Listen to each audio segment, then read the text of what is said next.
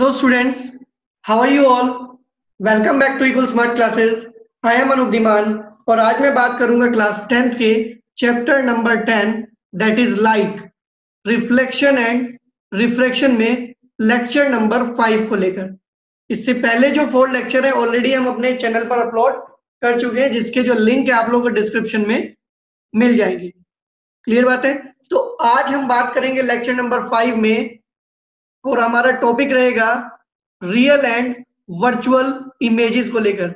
बहुत बार ये board exams में क्वेश्चन आता है differentiate between the real and virtual images clear बात है?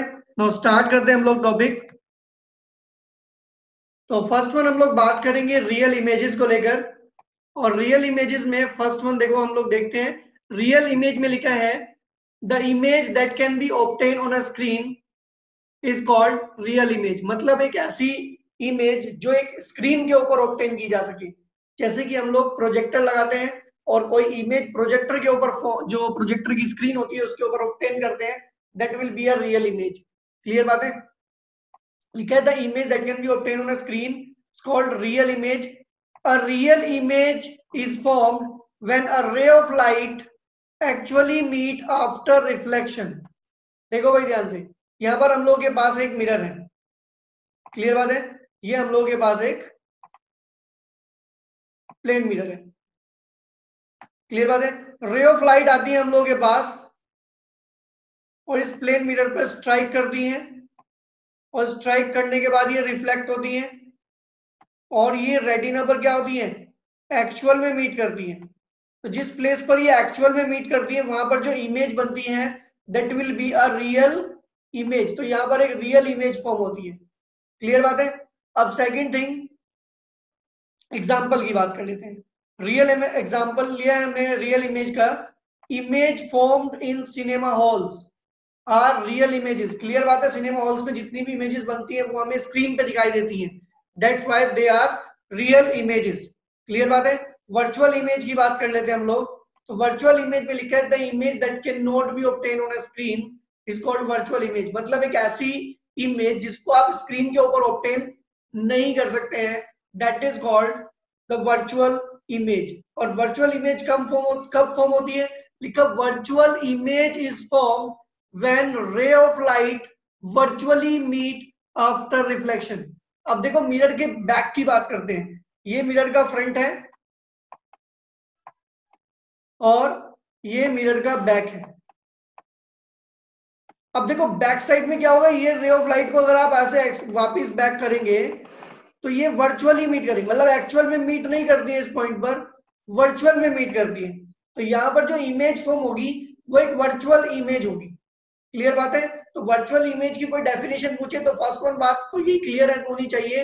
That is the image that can not be obtain on a screen is called virtual image and virtual images formed when ray of light virtually meet after reflection real images में actually meet करती है but virtual images form करने के लिए जो रे of light होती है, वो वर्चुअली मीट करती है।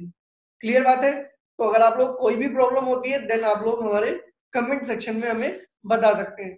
अब हम लोग बात करेंगे नेक्स्ट वन टॉपिक को लेके, जिसमें हम लोग बात करेंगे differences between real and virtual images की। तो बात कर लेते हैं real image and virtual image में क्या डिफरेंस होता है? फ़र्स्ट वन डिफरेंस क्लियर है सबको? That is it can be obtain on a screen जो रियल इमेज होती है, वो स्क्रीन के ऊपर ऑप्टेन की जा सकती है. सेकंड थिंग वर्चुअल में देखो it can not be obtain on a screen it mean जो वर्चुअल इमेजेस होती है, वो स्क्रीन के ऊपर ऑप्टेन नहीं की जा सकती. Second one difference is what it is form when ray of light actually meet after reflection मतलब एक रियल इमेज के फॉर्म होने के लिए, जो रे ऑफ़ लाइट है, वो एक्चुअली मीट करनी चाहिए आफ्टर रिफ्लेक्शन क्लियर बात है वर्चुअल इमेज में लिखा है it is form when ray of light virtually meet after reflection मतलब जो रे ऑफ़ लाइट होती है, वो वर्चुअली मीट करती हैं आफ्टर रिफ्लेक्शन क्लियर बात है जैसा कि अभी मैंने आपको इमेज में, उसमें फिगर में दिखाया था। Next one third one real images are always inverted inverted का मतलब होता है, ये उल्टी होती है इमेजेस क्लियर बात? है इनके आगे आप सीधा ऑब्जेक्ट रखोगे तो ये इमेजेस ऑलवेज कैसी बनती है? उल्टी बनती है। तो इन्वर्टेड का मतलब होता है उल्टी। क्लियर बात? है और वी कैन से इन्वर्टेड हम लोग यहाँ पर जो वर्ड यूज़ करेंगे इन्वर्टेड करेंगे। Next one virtual images are always erect और इरेक्ट का मतलब होता है ये इमेजेस हमेशा सीधी बनती है। मतलब सीधा ऑब्जेक्ट होगा तो इमेज भी सीधी बनेगी। क्लियर बात? है तो रियल इमेज ऑलवेज इन्वर्टेड होती है और वर्चुअल ऑलवेज इरेक्ट होती है। Next one real image always form in front of the mirror भाई देखो, हम लोग के पास एक मिरर है, मान लेते हैं ये।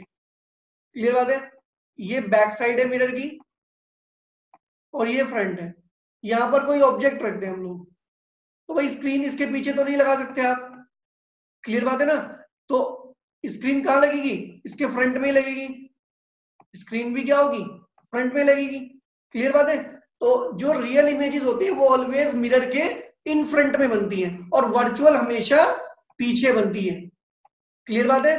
तो fourth one point is what a real image always formed in front of a mirror and virtual image always form behind the mirror second last one बात कर लेते हैं हम लोग fifth one a real image always form behind the lens देखो mirror के case में जो रियल इमेज है वो इन फ्रंट बनती है और लेंस के केस में बिहाइंड बनती है। क्लियर बात? है ऐसे ही हम वर्चुअल इमेज की बात करें तो वर्चुअल इमेज मिरर के केस में बिहाइंड बन मिरर के केस में बिहाइंड बनती है और इन केस ऑफ़ लेंस ये ऑलवेज क्या होती है?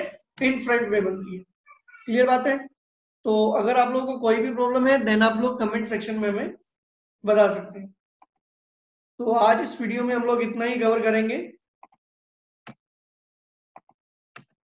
Thanks for watching this video.